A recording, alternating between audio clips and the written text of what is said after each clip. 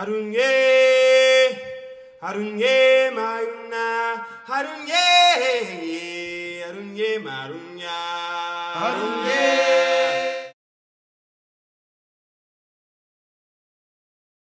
Allora, il Kenya è diventato una colonia britannica nel 1920 e ha ottenuto l'indipendenza nel, 1940, nel 1963, quindi ha avuto 43 anni di dominio britannico.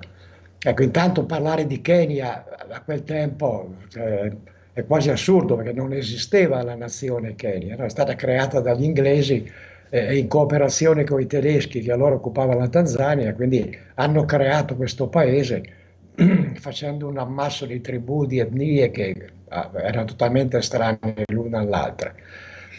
Eh, alla fine degli anni 50 c'è da dire che la Gran Bretagna era già orientata comunque, si stava ritirando da tutti i suoi possedimenti coloniali, anche per pressioni proprio del popolo europeo che tendeva alla libertà dei popoli, eccetera e quindi sarebbe arrivata quasi certamente a concedere l'indipendenza al Kenya, così come aveva già fatto in India e in altri suoi possedimenti.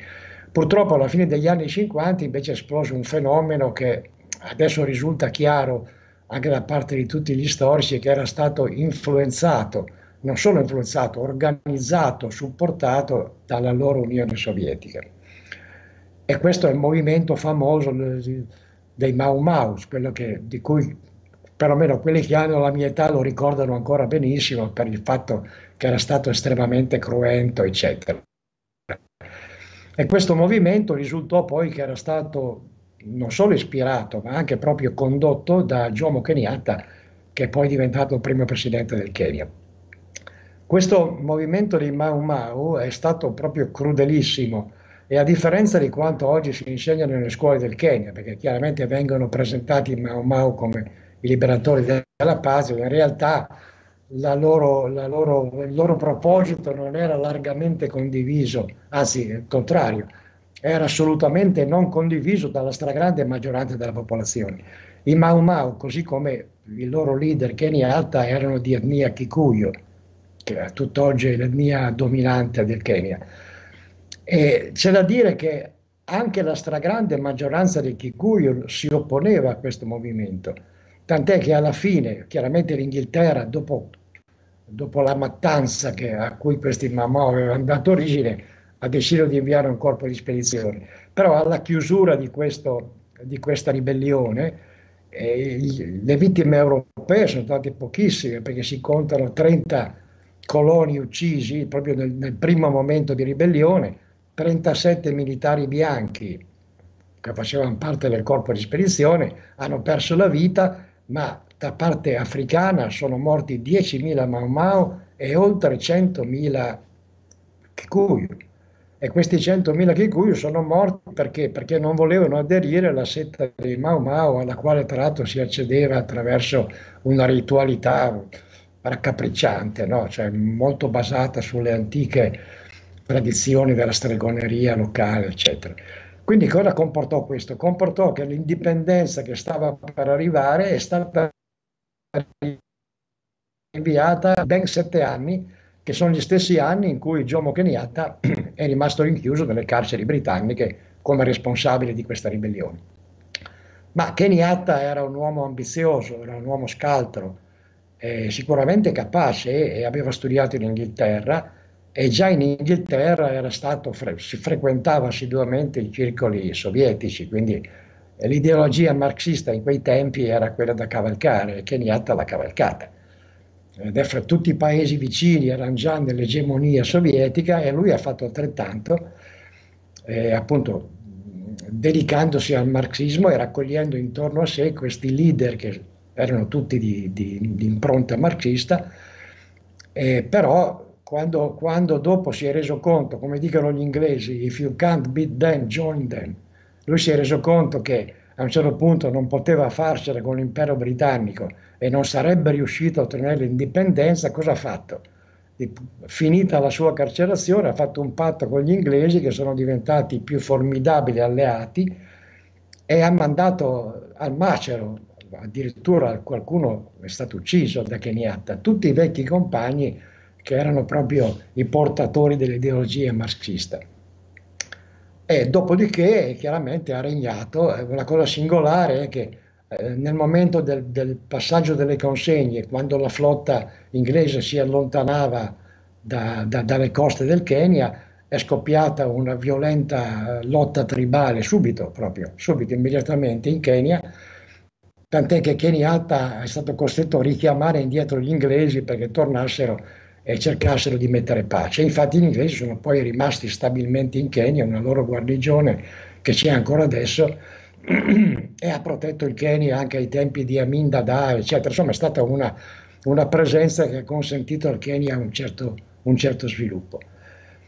E Kenyatta è poi morto, nel, se non sbaglio, nel 76, mi pare, sì, 76. Comunque a lui hanno fatto seguito altri presidenti eh, lui stesso per evitare scontri, perché vedremo poi che le due etnie più rivali sono stati il Luo e il Kikuyu, eh, i primi di etnia Bantu, i secondi di etnia Nilota, e lui per evitare questi scontri ha avuto la saggezza, eh, perché nonostante tutto, insomma, nonostante che si sia arricchito oltre misura come tutti i leader africani, anche lui però una certa saggezza eh, gestionale del paese l'aveva dimostrata. E quindi ha, come suo successore ha messo eh, Daniel Arab Moi, che apparteneva a una tribù abbastanza significante allora, che era quella dei Kalenji, in modo proprio da non creare rivalità tra le tensioni. Moi è rimasto al potere lungamente, eh, nonostante che nel 92, perché era monopartitico il sistema, quindi in pratica era una dittatura, però nel 1992, su pressioni internazionali, il Kenya era approdato al multipartito. Ciò nonostante, alle elezioni del 1992, con delle operazioni di brogli, eccetera, eccetera, Moi è stato riconfermato.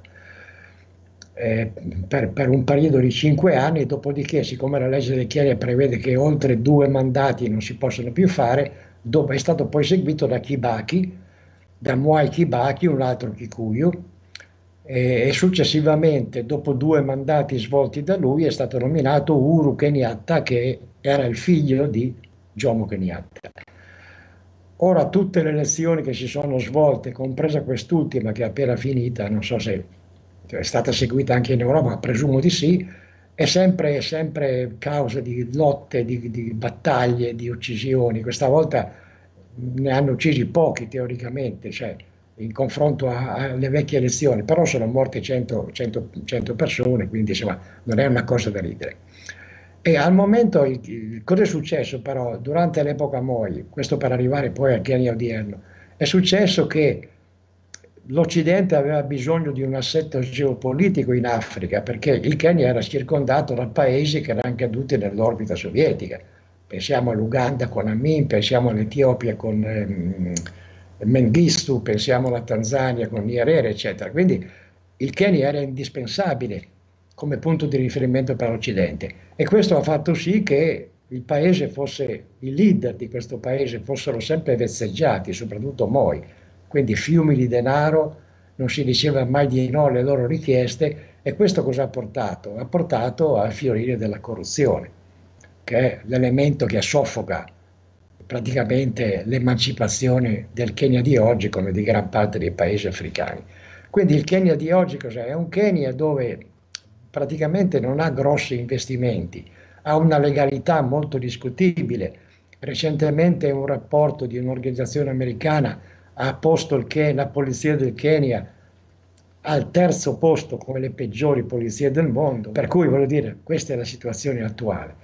Le elezioni eh, hanno una parvenza di democrazia, ma non sono mai limpide ed ogni volta succedono dei brogli, succedono delle mistificazioni, eccetera.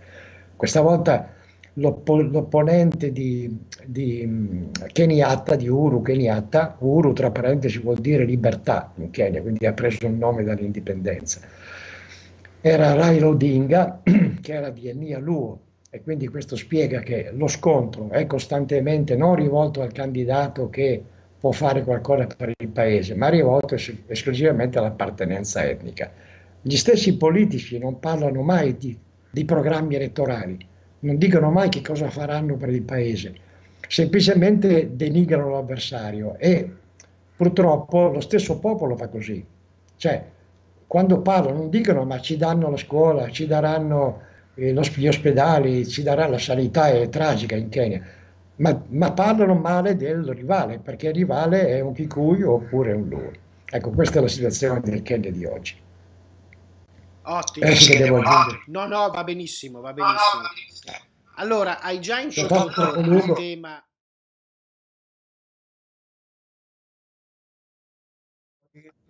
Il Kenya ulti, dalle ultime verifiche risulta avere 48 milioni di abitanti, che non sono tantissimi, cioè rispetto all'Italia sono, sono, pochi.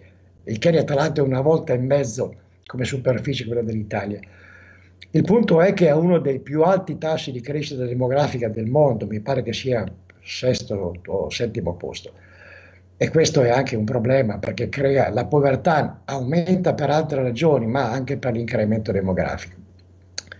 E praticamente i, i, i, ceppi fondamentali che ci sono in Kenya, eh, i ceppi etnici, sono due. Cioè, c'è quello dei Bantu, che praticamente è la razza, del, è la razza autoctona de, dell'Africa subsahariana, e quello dei Niloti, che provengono dalla valle del Nilo. C'è una, una suggestiva ipotesi di alcuni storici, no? perché eh, la, la, valle de, per quanto riguarda il Kenya, il Nubi, la, valle, la, valle, del Nilo riguarda soprattutto il Sudan, no? che in passato, nell'antichità, era parte dell'Egitto, dell'Egitto dei faraoni. Poi i romani hanno conquistato l'Egitto e, che, eh, quindi hanno preso anche possesso del, del Sudan, anche se non ci andavano mai perché era ancora una terra ostile, era difficile da percorrere, eccetera. All'epoca di Nerone, Nerone gli è venuto il chiribizzo di voler sapere dove erano le sorgenti del Nilo, cioè eh, classico, la classica domanda che tutti si facevano fin, fino a mica poco, a molto tempo fa. E così ha ordinato ai generali che erano a distanza in Egitto di andare a verificare questa, a vedere dove era questa sorgente del Nilo. Ed è partita un'intera legione. Questa legione è poi stata definita come la legione perduta perché non, è, non ha mai fatto ritorno indietro. Allora, cosa era successo? È impensabile pensare che una regione romana, vincitrice di, di cento e più battaglie, possetata sconfitta da degli indigeni non armati, non, non, non istruiti alla guerra, eccetera. Quindi l'ipotesi più probabile è che questi romani si siano trovati bene nella zona della Nubia, che è quella da cui son, proviene la maggior parte del ceppo nilota che è presente in Kenya, donne bellissime, anche abbastanza disponibili, quindi si siano fermati lì, erano stanchi di guerra, eccetera. Questo ha dato origine, secondo questa ipotesi, eh, ha dato origine ai Masai. infatti ci sono delle circostanze abbastanza singolari, perché mentre i nubiani sono neri come l'ebano, eh, bella gente, alta, robusta, atletica, ma sono neri come l'ebano, con, i caratteristici tratti africani, mentre invece i Masai, tutti l'hanno potuto vedere, sono di pelle molto chiara e hanno delle, delle, una fisionomia abbastanza simile a quella occidentale, quella europea. Per cui alcuni ritengono che sia stato questo ceppo originario della legione romana ad aver dato vita a questi, a questi Masai che poi si sono divisi in altre etnie, Samburu, Pokot, eccetera. La cosa singolare è che questi, questo ceppo nilota anziché essere unito, è costantemente in guerra, soprattutto nella zona nord del paese.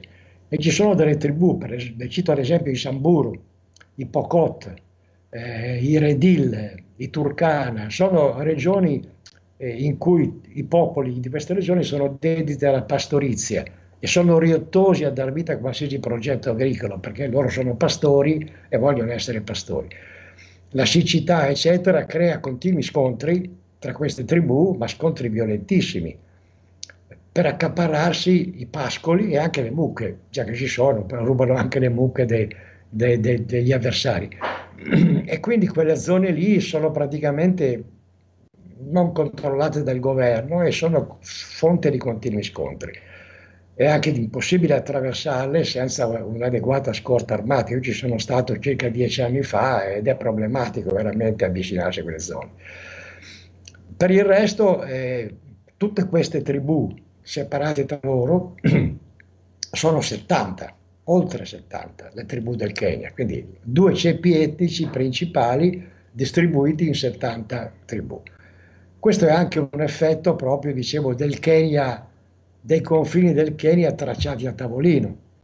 Se, se tu guardi, se voi guardate la, la, la cartina eh, de, de, del Kenya, vedete che nella zona, nella parte orientale, c'è una riga, così come c'è nella parte eh, nord-orientale, cioè, sono delle righe tracciate proprio tratto il rappresentante del Kaiser e quello della Regina Vittoria si sono trovati a bordo del treno e lì hanno fatto i confini del Kenya, con un righello, delle righe, quelle righe però separavano in due delle etnie, per esempio separavano a metà i Masai, per cui oggi abbiamo i Masai della Tanzania e i Masai del Kenya, stessa etnia, ma, ma probabilmente a quel tempo stesse famiglie, amici eccetera che si sono trovati stranieri. Lo stesso è avvenuto ai confini del nord, con la Somalia e con l'Etiopia Infatti il Kenya oggi ha i somali del Kenya e i somali della Somalia. Ecco, questo indubbiamente ha creato un grosso scompenso nelle, nelle relazioni dei popoli. E adesso non posso citare tutte le 70 etnie perché ci metteremo mezz'ora, però comunque sono prevalentemente di ceppo mantù e di ceppo nilota, costantemente in lotta tra di loro.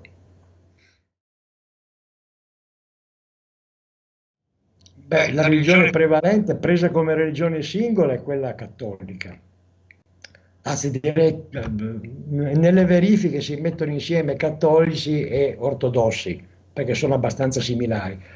Eh, però quella prevalente come gruppo è quella protestante, perché qui saranno stati gli inglesi, quindi eh, quelli protestanti hanno un sacco di singole obbedienze, però tutti insieme rappresentano quella superiore. E poi ci sono gli islamici. Gli islamici rappresentano solo l'11%, ma fanno tanto di quel baccano che sembra che siano loro ad avere la maggioranza. E poi oltretutto eh, sono difficilmente gestibili eh, gli islamici in Kenya. Cioè, direi che in certi casi sono forse più, più ancora turbolenti di quanto non siano in altri paesi. E infine ci sono gli animisti che sono soltanto, cioè soltanto, sono ancora un 9%, cioè le religioni tribali locali, eccetera, che attenzione, sono diverse, ogni singola tribù ha la sua religione, il suo Dio. Eh. Alcuni sono monoteiste in religione, altre sono invece con più eh, divinità. Eh, però ce ne sono ancora in, un certo modo. Forse ecco, l'unica religione originale monoteista è quella dei Kikuyu, che credeva nel dio Ongai che veniva dal monte Kenya, il monte che ha dato, che ha dato origine appunto al nome del paese. E pa- tornando un attimo ai confini, diciamo, una cosa quasi grottesca, quel confine orientale che divide il Kenya dalla Tanzania, se si guarda la cartina si vede che a un certo punto quella riga dritta fa una piccola curva, piccolo inserimento di una curva. Perché quella curva?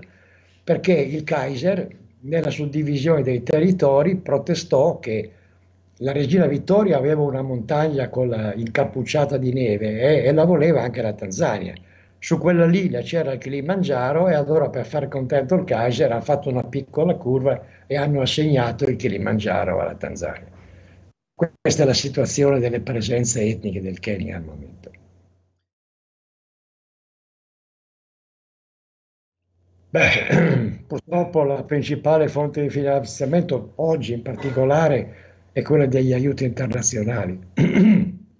Sul Kenya si riversano tantissimi soldi e questi soldi sono eh, dati dalle varie NGO. Pensa che solo in Kenya, a Nairobi, diciamo come base, ci sono più di 2000 istituzioni per aiutare l'Africa comprende questo, comprende le, come la nostra cooperazione internazionale, che tutte le ambasciate poi hanno la propria, no?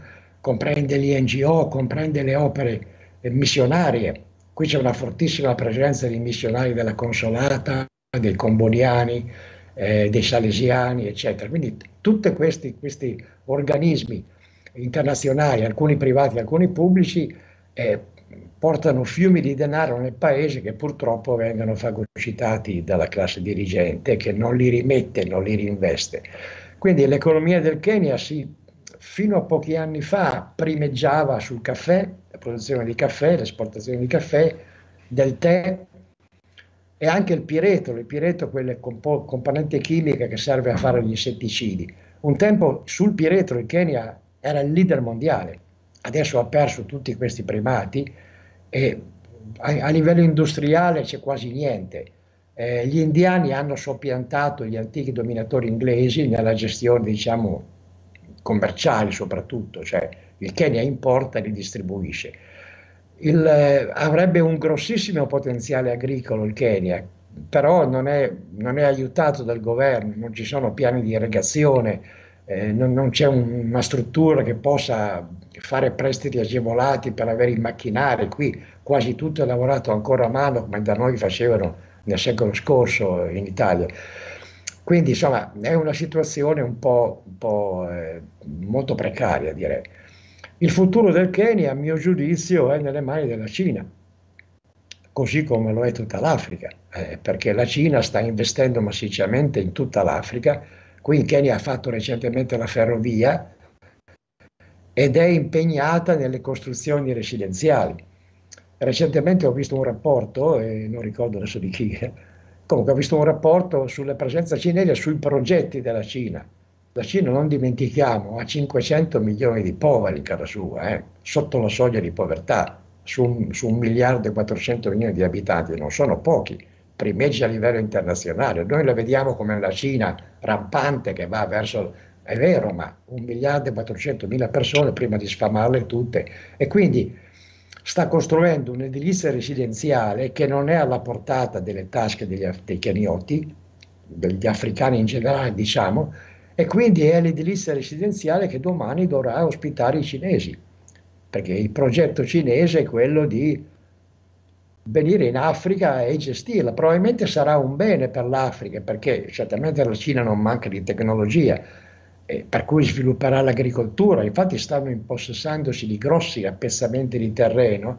nonostante le proteste dei locali. Certo, se ne impossessano grazie, grazie alla collusione con il governo quindi svilupperanno certamente l'agricoltura, tutto sta a vedere a chi andrà questo beneficio, andrà ai keniani o andrà ai cinesi. È facile prevedere che andrà ai cinesi.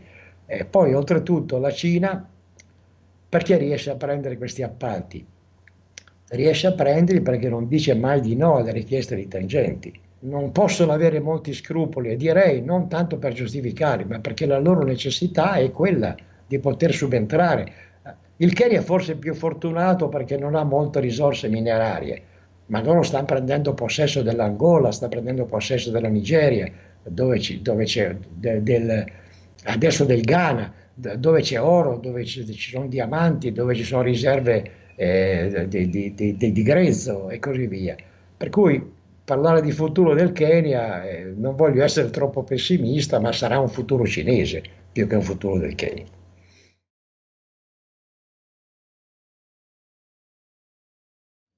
Sì, purtroppo questa influenza c'è ed è anche pesante. Perché? Perché la povertà e, e così le allettanti proposte che, che Al-Shabaab fa, eh, non solo quelle del paradiso di Allah, ma anche soldi, proprio aiuti alle famiglie, eccetera, è riuscita negli anni a, a, ad attirare moltissimi giovani islam, musulmani come religione, che addirittura militano oggi nelle file di Al-Shabaab e combattono contro gli stessi militari del Kenya che sono là nell'egida del, delle truppe ONU per contrastare Al-Shabaab.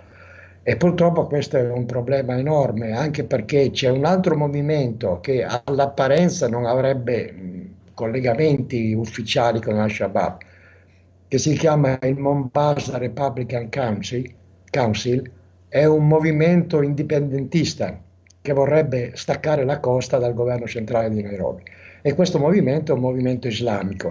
Anche lui ha attuato delle, degli atti terroristici in passato e si sono scoperti dei link con Al-Shabaab. Quindi voglio dire, in questo momento Al-Shabaab potrebbe avere una presenza, proprio diciamo un, un punto d'appoggio in questo movimento eh, che ha sede appunto a Mombasa e vuole staccare la costa dalla, dal governo centrale soprattutto per utilizzare il traffico portuale, perché il Kenya dal porto di Bombasa c'è tutto il traffico che porta le merci eh, dell'interno, quindi in Uganda, a volte anche in Ruanda stessa, eh, parte nel, nel, sud del Sudan e così via. E quindi diciamo è un gioiello che produce denaro quello. No? Quindi sostanzialmente cioè, il, il, terrorismo, tu, tu citavi prima eh, l'episodio che c'è stato a, a Garissa, eh, non dimentichiamo quello di Westland, del Westgate, cioè di Nairobi, dove anche lì c'è... E quello ha, ha sorpreso soprattutto perché finora gli attentati avvenivano sempre sulla fascia costiera, prevalentemente nelle zone limitrofe vicino al confine, mentre invece quello lì è avvenuto molto lontano, quindi vuol dire che l'organizzazione di Al-Shabaab è abbastanza diffusa, abbastanza estesa nel paese.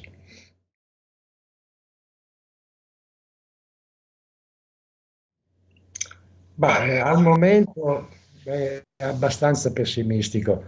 Bisognerebbe che l'Europa trovasse finalmente il modo giusto di, di relazionarsi con questi leader, perché il nemico dell'Africa sono i suoi leader. È inutile parlare, è vero che l'Africa langue, il Kenya ha un terzo dei suoi abitanti sotto la soglia di povertà, 15 milioni sotto la soglia di povertà. Cioè è un paese che stava molto meglio all'epoca del primo Jomo Kenyatta di quanto stia oggi la corruzione divampa, eccetera. Quindi il nemico primo per lo sviluppo del paese è la sua classe dirigente, chiaramente non solo il presidente, ma tutto l'entourage che si porta dietro. C'è una, il land grabbing, per esempio, questa appropriazione, a parte quella dei cinesi che almeno li sfrutterebbero questi terreni, ma tutta la fascia costiera del Kenya, per esempio, è in mano a ministri, parenti dei ministri e così via, che è quella che nel turismo poteva essere meglio sfruttata. Eh, prima ho dimenticato il turismo, il turismo era fino a cinque anni fa la prima voce nell'economia del Kenya, è morto, è scomparso, è scomparso perché mancano le infrastrutture, ma adesso mentre stiamo parlando io sto usando il generatore perché la corrente non c'è, quindi per dirti, cioè, ci, sono, ci sono strade che non sono fatte per andare negli alberghi, vabbè per i turisti rappresenterà un po' una specie di safari, ma non ci sono strade, molti alberghi non hanno l'acqua, devono andare le autobotti a portarle, quindi alla fine il turismo è quasi franato, è quasi franato, non c'è quasi più. Eh, gli animali nei, nei, parchi stanno scomparendo. Nel Nairobi National Park è rimasto un leone maschio, quando è morto morirà lui, o, o ne metteranno altri. Quindi bisogna, secondo a mio giudizio, bisognerebbe che l'Europa prendesse veramente a cuore la situazione dello sperpero che viene fatto da qui. Invece li accogliamo sui tappeti rossi, li abbracciamo, eccetera, cioè, e continuiamo a erogare denaro. Anche la proposta adesso di Juncker di aiutare l'Africa, certo eh, bisogna aiutare l'Africa, ma non semplicemente a livello governativo trasferire denaro dall'Europa alle mani dei, dei, governi, perché quel denaro, come ha fatto finora, sparisce, finisce. Gli aiuti, ho visto io stesso delle navi scaricare riso, scaricare olio e poi trovavi l'olio con scritto sopra Italian Aid nei, nei, nei mercati rionali che lo vendevano. Quindi se continuiamo così l'Africa non l'aiutiamo.